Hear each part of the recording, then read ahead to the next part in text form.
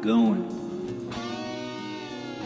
As I take these steps to where life leads me, I just have to wonder.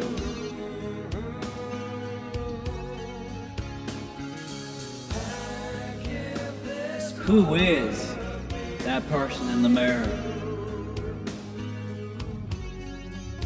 Have I and everything I held so dear just faded away? Or can I honestly say I have more yet to build? Change? Is that you in the wind? What could I possibly have left to my?